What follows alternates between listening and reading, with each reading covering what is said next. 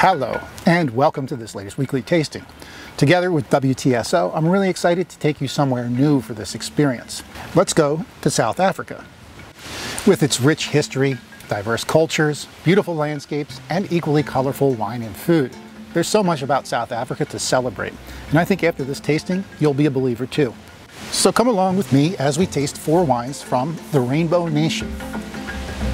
Now, because of its location at the very southern tip of the continent, South Africa has seen a lot of visitors over time. Portuguese sailors, Dutch traders, British colonizers, and of course, dozens of native African tribes.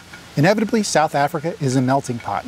Today, the Constitution recognizes 11 official languages, including the native Zulu and Xhosa, and European languages like Dutch Afrikaans and English. Wine has been made in South Africa for over 370 years, and grapes were brought to the Cape by the Dutch. In 1652, Dr. Jan van Riebeeck was commissioned with setting up a medical outpost for the Dutch East India Company, and he brought some French grapevines along with him. His plantings paved the way for South Africa's first winery. In its early years, South Africa was best known for its sweet dessert wines, but eventually they fell out of fashion, and when they did, the industry switched over to distilling grape brandy, which slowed down wine production to a trickle. But perhaps the biggest setback for South African wine was the establishment of a cooperative known as the KWV. The KWV was a white-owned monopoly that dominated the market and largely cut out small farmers and under apartheid black Africans. And it wasn't until 1998 when the KWV was finally privatized and forced to pay reparations that the South African wine industry was set free. The inclusion of black Africans into the wine industry brings the story full circle and finally gives the original inhabitants of this land their rightful place and voice. That being said, there's still a long way to equity in the industry. South Africa is just one-eighth the size of the United States, but it has a huge range of climates. The Cape's unique geography and climate make it surprisingly conducive to wine production, and no surprise, a rich biodiversity that ranks it sixth in the world. The wines in this tasting are from the coastal region, which is hilly and mountainous, and influenced by cool currents coming up from Antarctica. So, despite being south of the equator, this is a mostly temperate climate, which is key to growing high-quality wine grapes. And with that bit of background, it's time to taste these wines and talk about the producers.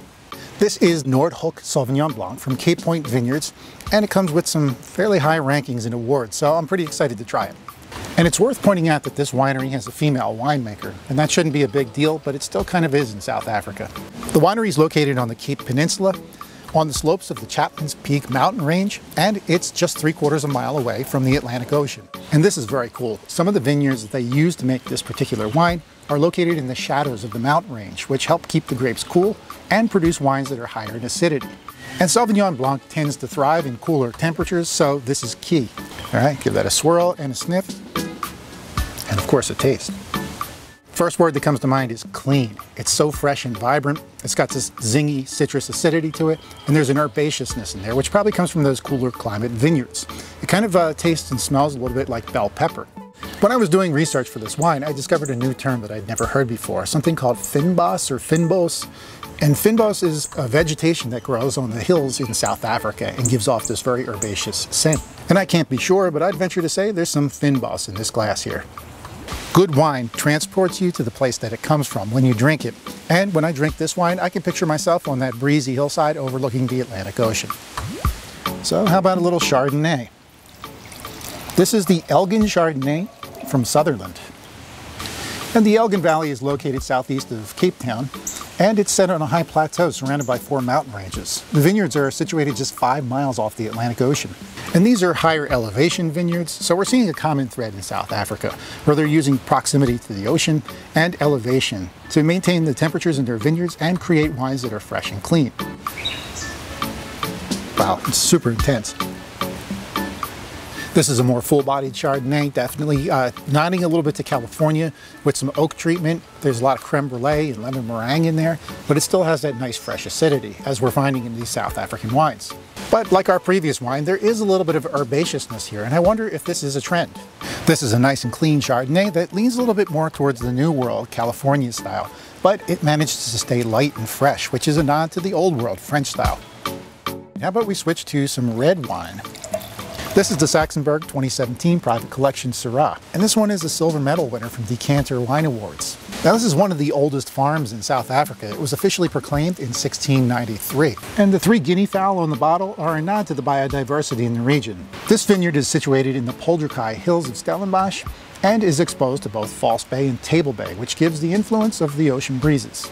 And these are also high elevation vineyards. It'll be interesting to see how that affects a red wine. And Syrah is one of my favorite grapes, so I can't wait to try this. This is one of the reasons why I love Syrah so much, because it's got these juicy berry flavors in it, but it's also so well balanced with that acidity in there as well. One thing I'm really appreciating about these wines from South Africa so far is that they're very clean.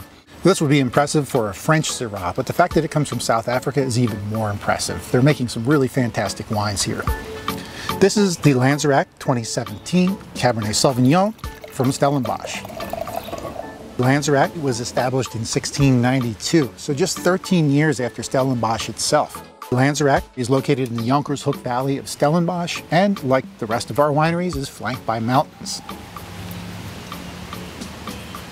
Wow.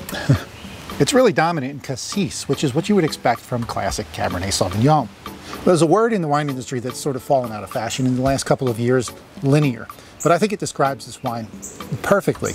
Um, when you taste a Cabernet Sauvignon grape in the vineyard, it tastes almost exactly like this. So the purity of the grape carries forward straight from the vineyard into the glass and of course to your palate and nose. It's a bold and spicy Cabernet Sauvignon and it's got a little bit of a resinous stickiness to it from 20 months of oak aging.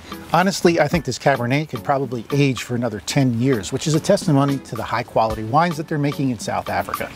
There's one additional thing I want to point out about all of our wines here, and that's the quality assurance label. This is the Sustainable Wine of South Africa certification, and it assures the quality of these grapes and wines in several different ways. Everything from meeting environmental guidelines to ensuring the health and safety of the workers at the vineyards.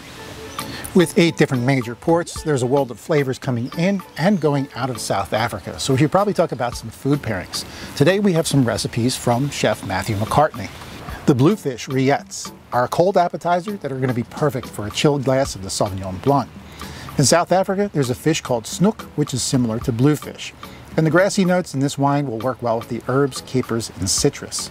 Next, we're going to pair the Chardonnay up with some shrimp peri peri.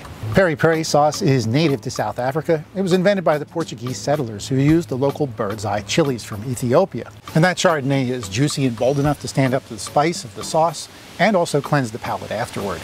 For this lovely Syrah, we have lamb chops with fennel and mango chutney. A Syrah and lamb are a classic pairing, and lamb is also a prized dish in South Africa. The coriander spice will be key here, as it'll bring out some of that peppery, spicy quality in the Syrah, and that chutney is balanced with a hint of sweetness to keep the wine's high alcohol in check. For the Cabernet, we have a culotte steak with a spiced herb chutney. A steak is always a sure bet with Cabernet, and this recipe is inspired by the infamous chimichurri in Argentina, but it infuses some Indian spice into chutney to tie it in with the Asian influence in South African cuisine. So this has been quite the adventure. We learned so much today, and I hope this tasting has inspired you to embrace the beautiful diversity and sometimes hidden colors of the Rainbow Nation. And who knows, maybe you'll even go visit for yourself one day. I know I'd like to. Thanks for joining me today. And if you want to purchase these wines or anything through Wines Till Sold Out, don't forget to use my discount code MARC2021 to get $10 off your purchase at checkout. Until next time, Hamba Kahle.